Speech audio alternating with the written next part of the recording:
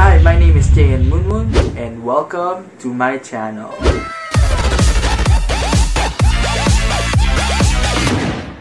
Well, if you're new here, don't forget to leave a like, comment, and share this to your friends, maybe, and also subscribe.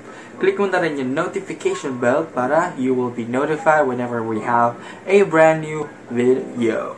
So, yeah, medyo matagal na tayong hindi masyadong like. Huh? Ano ra? Everybody put your hands in the air.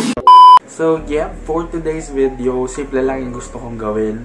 Naalala niyo ba yung video ko na yung face up or witchcraft, parang ganun? Yung sabi ko, mag-get ready ako kasi magsushoot ako sa parang yung ano, yung tinanong ko yung mga kaibigan ko na magsan sila ng video. Actually, not, hindi siya tanong eh. Parang, yun yung, nag-message ako ng mga kaibigan ko na gumawa sila ng video na kunyari nominate nila ako sa Pinoy Big Brother. And ayun nga, lumabas na yung result PBB Kumo Audition. And sadly hindi ako minessage ng ABS-CBN so I mean that's okay. That's alright. Wala naman hindi naman talaga ako nag-expect kasi talaga tatatlong like yung nandun sa Kumo ko eh I mean that's okay okay lang naman laban pa din malay mo dahil sa live na to ay makita nila ako umaasa pa din ako so yeah yeah. Pero tapos na talaga, kumuha na talaga sila ng list. Nakita ko yung list and wala talaga ako doon. So, tanggapin ko na. Dapat tanggapin ko na na ganun nga. So, ayun nga, balik tayo sa usapan. Mag-aayos ako para mapatuloy ko na yung video na yon Okay? Gusto ko lang mag-ayos and um, gusto ko lang din i-share kung anong ginagawa ko ngayon with my face. Like, kasi recently, panay-panay yung practice ko kung paano ayusin yung mukha ako and ito yung resulta ng pagpapractice ko araw-araw. Yung tipong wala man akong pinupuntahan, nakaayos tayo. So, um, yeah, magsimula tayo dito sa ating forever favorite na facial cream, which is yung IY Korea facial cream na makeup base. So, natutunan ko dito sa makeup base na to is dapat hindi masyadong marami yung nilalagay ko. Dapat saktong, sakto lang. Kasi pag masyadong marami, sobrang puti niya po. Tapos lalo pang puputi dahil doon sa foundation and hindi maganda pag masyadong maputi yung mukha. Actually, guys, bigyan nyo ako ng second. Ayusin ko yung buhok ko para hindi siya nakakadistorbo. Ayan.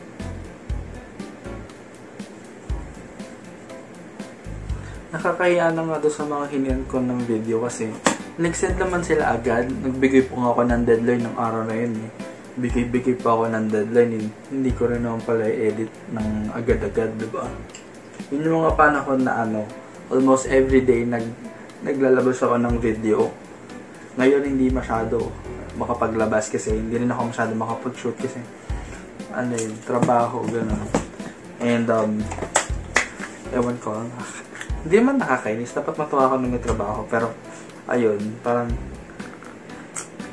hindi ako masyadong motivated. Yung parang ako hindi masyadong motivated sa work kasi ayun. Ah, basta. Ayoko pag-usapan ng trabaho. kasi nga, di ba nakwento ko na gusto kong gusto ko nang seryosohin tong YouTube kasi parang mas gusto ko tong gawin. Pero alam ko matagal pa yun dahil hindi pa naman ako wala naman masyadong nanonood pa sa video ko. Pero naniniwala ko na some, someday ma-achieve ko din yun. And kung naniniwala ka din doon, don't forget to hit the subscribe button, okay? By the way, yung nilagay ko is yung oil-free primer ng Sassy Lady. Ayan, nilipat ko din yung ilaw. Mas kita nyo na ba? Ayan. Feeling ko mas kita nga pag ganyan. So, good thing nilipat natin. After nyan is, maglalagay na tayo nung pinaka-foundation. Ang gagamitin ko ngayon is yung Lamela BB Cream. Hindi ko na, nakalimutan ko na kung anong shade nito. Pero, Parang wala naman sunshade. Nakashoot. Ayun, so far naman, na-enjoy ko tong BB cream na to kasi ayun nga, dahil BB cream siya, medyo magaan lang siya sa mukha. And, ayun, ang di ko lang gusto dito is medyo may amoy siya. Yung amoy niya hindi naman mabaho, pero alam mo yun, amoy lotion. And, ayun. Nakagamit naman ako nung, ng Maybelline, ganun ito talaga may amoy siya. Yung ibang nagagamit ko if walang amoy. So, parang unusual lang siya. Eh, hindi man ako maarte sa amoy, kaya okay lang. Kung napapansin nyo, hindi ko masyadong biniblend dito sa gilid ng mukha ko kasi ayun nga, gusto ko yung center lang ng mukha ko, yung meron talagang product, yung gilid, sakto lang, hindi, hindi siya kailangan na lagay na lagay. Kasi, nalagyan ko rin naman ng bronzer yan, nalagyan ko din naman ng pang contour yung side ng mukha ko. So, yung gitna na lang nilalagyan ko. And then, move on tayo sa eyebrows. So, for our eyebrows, ang ginagamit ko ngayon ay itong HBG Collection. HGB Collections Brow Duo in Ash Gray. Binili ko talaga dito yung brow soap. Eh, ito kasi yung pinakamura sa Shopee 35. Alam niyo naman, mahilig ako sa murang makeup. Palagi ko sinasabi ah, eh, hindi ko masyadong trip yung brow soap niya. Parang walang nangyayari. So, ginagamit ko na lang yung parang pomade niya. Eh, kasi parang okay din naman sa akin yung kulay eh, ash gray. Yan. At tapos, lilinisin lang natin yan. By the way, yung pinalilinis ko is yung BB cream lang din. Tapos wala naman akong brow mascara. Pero meron ako itong regular mascara. Nakalimutan ko na ako anong brand nito. Pero basta mura din to sa Shopee. So, ayun. Nilalagyan ko lang ng onti yung kilay ko. Ayan. So, dahil may kilay na tayo, move ulit tayo sa mukha. So, nag-set na din yung foundation. Yep, nag-set na. So, usually pag ganyan, gusto ko pa rin patungan ng konti nandito sa may ilalim ng mata ko. So, para sa under eyes, hindi concealer yung ginagamit ko. Foundation pa din. And ito yung long wear matte foundation ng Sassy Lady. So, ayun. Mas makapal kasi yung formula nito kasi di ba alam nyo naman yung BB cream. Hindi naman siya sobrang, sobrang ano yung, yung hindi sobrang thick nung kanyang coverage pag BB cream, hindi ganun ka kaganda yung coverage kasi parang breathable lang yung BB cream. So ngayon, para lang maitago yung mga bakas ng kahapon, ginagamit ko tong longer foundation ng Sassy Lady kasi medyo mas thick siya. Mas thick yung consistency at mas natatago niya yung under eyes natin. Kung napapansin nyo, nalalagyan ko din ng gilid ko dito para maihila din pataas. Ayan, ganyan lang kadami, tapos i-blend na natin sila agad. Ayan. Alam ko, medyo parang mukhang multo tayo ngayon, pero mamaya huwag kayong mag-alala. Pag nilagay na natin yung contour natin, hindi na ganyan na parang ko sobrang puti. So, move on ako agad sa contour. Kasi cream yung contour ko na ginagamit. And ito yung Play 109 stick, pero nakalagay dito 101. Play 101 stick, contour stick, contour and highlight stick ng Lamela. So, ayun. Meron na kayo actually review nito. Panoorin nyo. Ilalagay ko yung link sa baba review nung mga binili ko sa Lamela. Kasi sobrang mura nito guys. Alam ko, kung natatandaan ko nasa 30 pesos lang tong stick na to eh.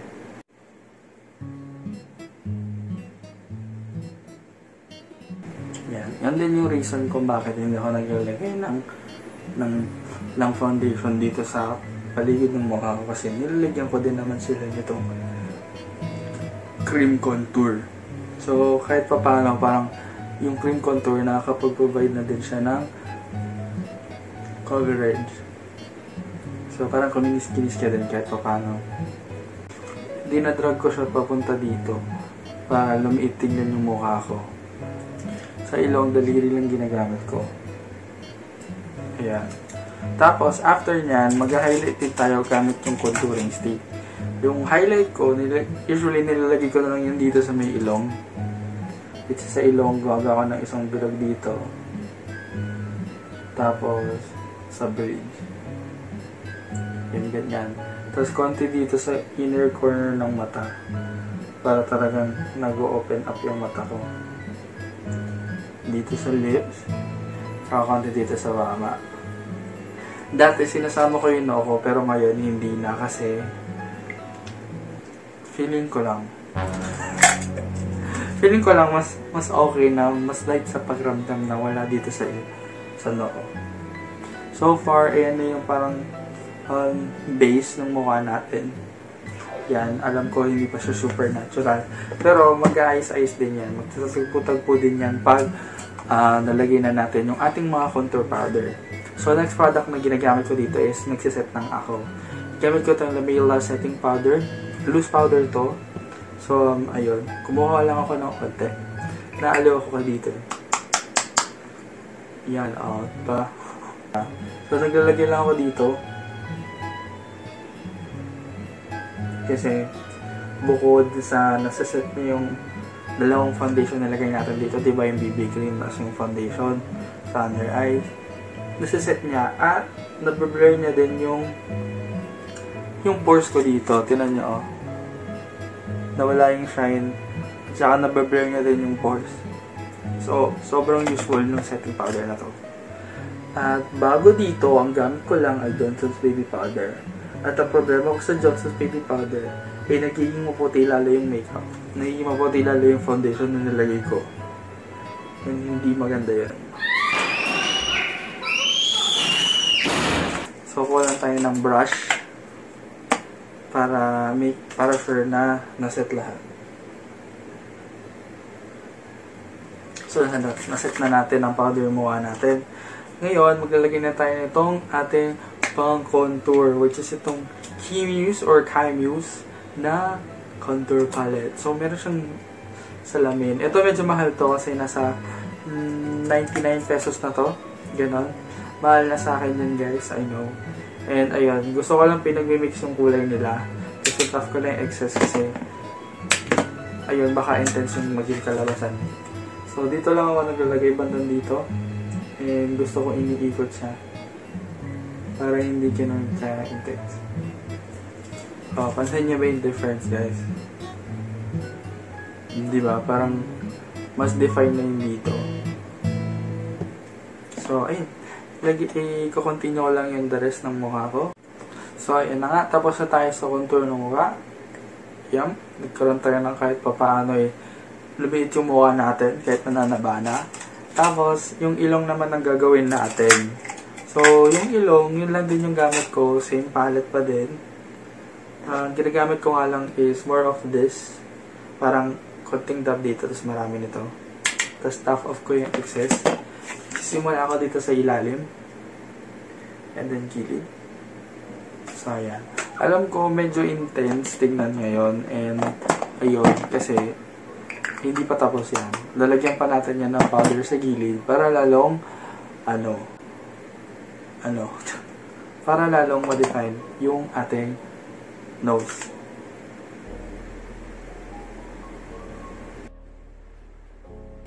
So, bakit ginagawa to? Hindi ko rin alam. Nakita ko lang yung mga beauty vlogger ay nilalagyan ng powder ulit yung gilid. Tagaras na lang mag-contour ng ilong.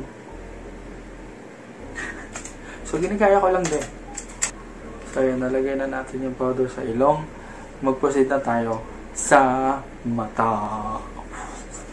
Kasi, kailangan natin mag-eyeshadow para dito. Kasi pag walang eyeshadow and sobrang makulay ng mukha mo is parang ang weird.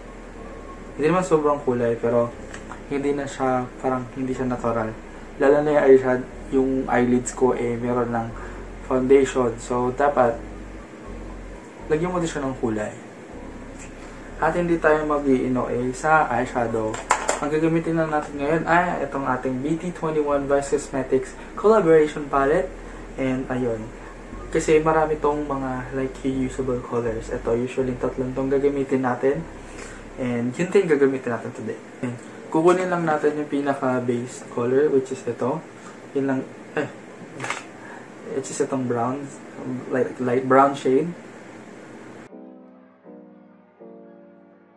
Tapos, i-gagamitin natin tong sumunod na shade, which is yung medyo pa, pa dark, mas dark ng kulay. Eh, kukuha lang tayo ng konti at yun yung ilalagay natin sa inner at sa outer.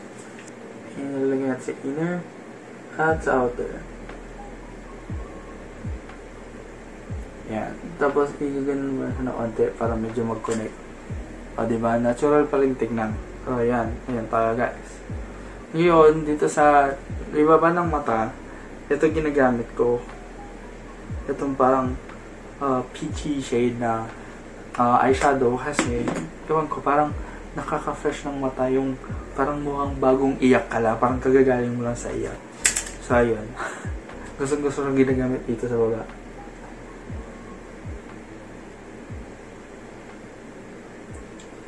Ayan. Ganyan. Yan. Magsistick lang tayo sa matte para hindi masyadong wow, makeup. Ah, pero maglalagay tayo ng eyeliner. For eyeliner, meron tayong eyeliner pencil dito. And, um, yun lang gagamitin ko for this look. Um, ayan. Eyeliner, hindi ako super galing dito ah. Hindi ako magaling dito. So, pagpasensyahan nyo na. So, magsisimula ako dito sa aking matang hirap na hirap ako. Kasi mas kinakain nito yung yung makeup. Ewan ko, kakaiba tong mata ko eh. Talagang kinakain. Ganyan lang, ginagan lang. So, tinatakpan niya lang. Di ko ano yung gagawin mo dito. Kaya mahirap mag-eyeliner. So, para dito sa matang to, ang ginagawa lang sa eyeliner is, fina-follow ko muna yung yung natural kong eyeline. And then, tsaka ako siya i-extend.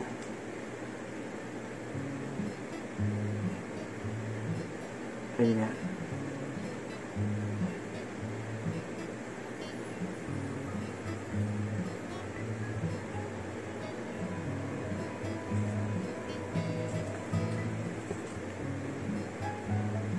Yan lang ang eyeliner natin. Medyo dadagdagan ko lang dito sa ilalim.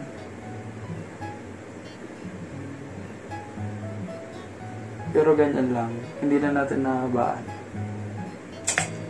So, tapos na tayo sa mata. Babalik tayo ulit sa mukha. Dahil tapos na tayo sa mukha, i-brush natin yung mga pulbong nilagay natin. Ayan. Since wala na yung mga extra pulbo, maglagay na tayo ng blush. So, para sa blush, hindi ako nag-UNOA sa blush. Ang gagamitin lang natin itong Sanee Goddess Palette. Gagamitin lang natin tong shade na to. Kasi, yun lang, parang very nude lang yung blush. Hindi sobrang blush. Ganun. Ano lang siya, muted na hindi ko alam.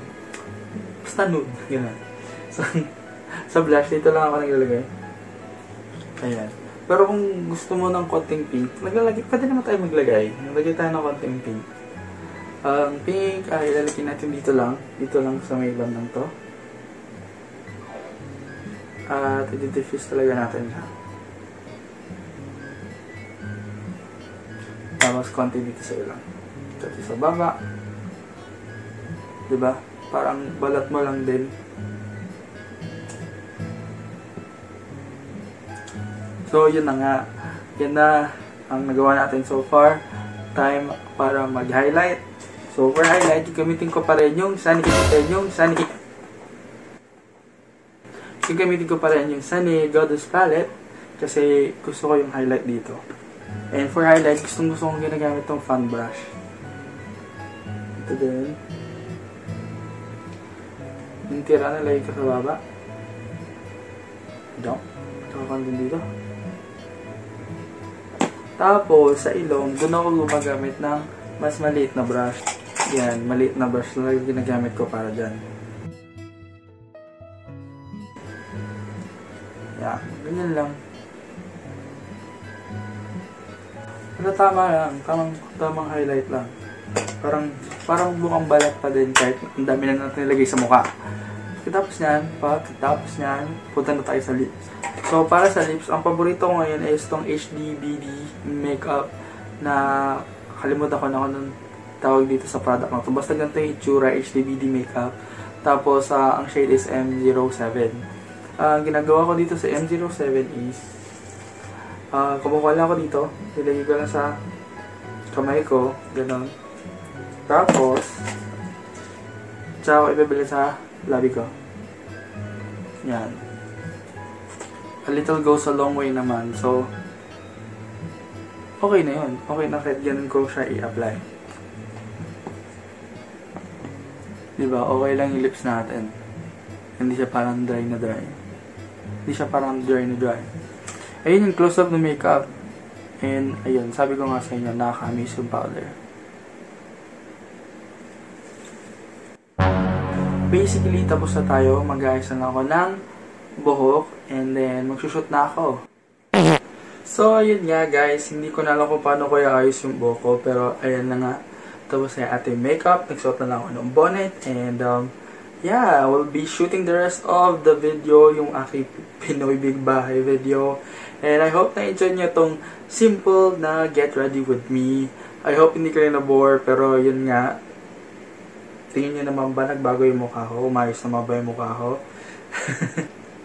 And please do comment down below kung gusto nyo gumawa pa ako ng mga ganitong video. Kasi ayun, ayun gusto, ayun, hindi ko rin alam minsan kung anong gagawin kong video. Kung gusto nyo magkwento ka about something, comment down below, ikukwento ko yan sa inyo. And guys, kung bago ka lang sa ating channel at na-enjoy mo tong video na to, i-like mo na yung video, leave a comment, share this to your friends na gustong matutong paano gawin yung makeup nila. Ay, ewan ko ah, kung may natutunan kayo. Pero baka yung friend mo may matutunan, so share mo na din. Malay natin. And yes, please subscribe and click mo na rin yung notification bell para notified ka whenever we have a brand new video. And again, that's it. This is JL Moon Moon signing out.